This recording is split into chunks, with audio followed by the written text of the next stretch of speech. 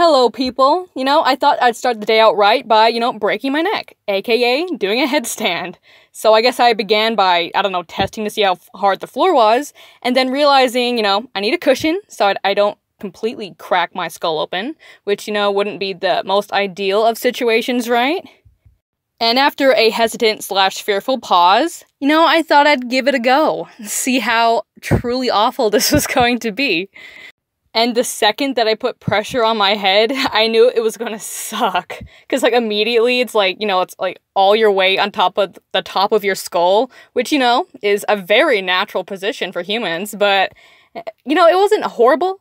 If you know, if my arms weren't there, then my neck surely would have snapped in half or something. And after that whirlwind experience, my neck didn't hurt as much as I thought it was going to, which is kind of weird. It just, the whole feeling was kind of weird. Standing on your head is a very strange feeling to say the least. And now with these three seconds of experience, I decided to ditch the pillow because I, you know, I'm that professional at it now. So, you know, I'd had to, you know, build up a little bit of courage and then kind of jump into it head first, kind of literally. And you best believe that my head felt it a little more this time because, you know, without that cushioning, it's just skull on floor contact.